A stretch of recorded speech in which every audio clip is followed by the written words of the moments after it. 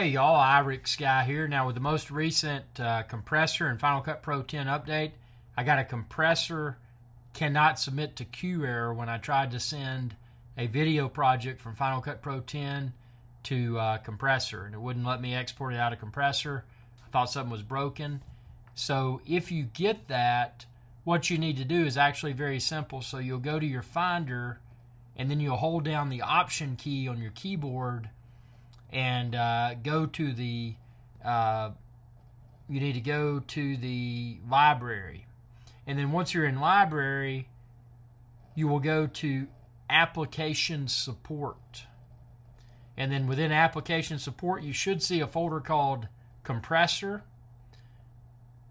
And then also possibly it may not be there but you may see another folder called QMaster if those are there drag them to your trash and then reboot. And after a reboot, launch your Final Cut Pro 10 and your compressor and see if that error went away. I hope it helps. It fixed me, and I was pretty irritated. Thanks for your viewership. Be sure to subscribe, and when you do, ring that bell icon to be notified whenever I post another video. Thanks for your support. IrixGuy's Adventure Channel. You can find my merchandise below. Y'all have a good day.